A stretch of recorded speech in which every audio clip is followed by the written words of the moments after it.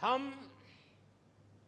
85,000 technicians engineers और R and D experts की semiconductor workforce तैयार कर रहे हैं।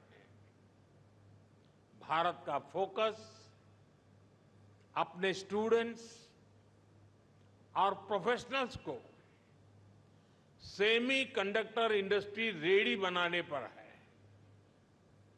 कल ही अनुसंधान नेशनल रिसर्च फाउंडेशन की पहली बैठक हुई है।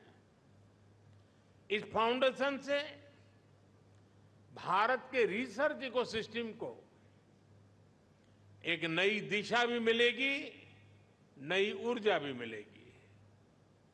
इसके अलावा भारत ने वन ट्रिलियन रुपीज़ का एक स्पेशल रिसर्च फंड भी बनाया है। फ्रेंड, ऐसे इनिशिएटिव से सेमी कंडक्टर और साइंस सेक्टर में इनोवेशंस का दायरा बहुत ज़्यादा बढ़ने वाला है।